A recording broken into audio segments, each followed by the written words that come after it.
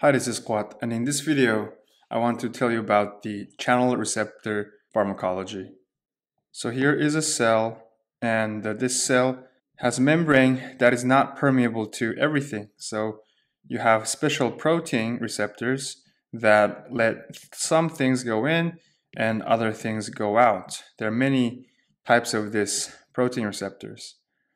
And uh, about 16% of all pharmaceutical ligands bind to this receptor and uh, force its receptor to either close or open. It's a popular target after the GPCR coupled receptor family. Usually, these receptors are something gated, and this something can be mechano uh, signal, stretching, etc. Could be pressure, it could be specific molecule, light, many things. But with this pharmaceutical ligand, we are trying to force the receptor to uh, function.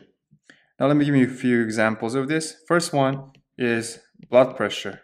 Common drugs that control blood pressure act on a channel receptor and control the ion concentration of cells. And the next example is HERG, HERG. HERG is channel receptor protein found in your heart.